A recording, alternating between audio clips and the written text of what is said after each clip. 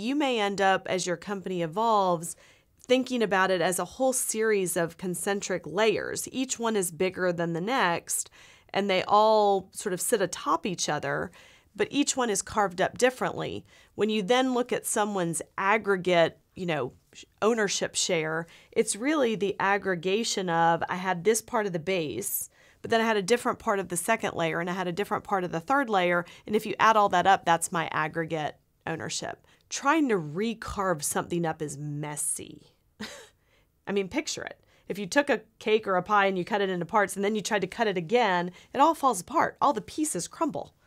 And that's the that's the muck. That's the mess that nobody wants to deal with. Um, but if you cut that up and then on top of it you layer another piece that's cut up differently, most of us can sort of our egos can assimilate the fact that I played this role here and now I'm playing a different role.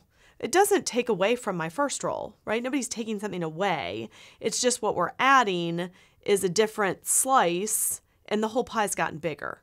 So I think, you know, where people tend to make a mess is when they view it as it can't be fixed and growing at the same time.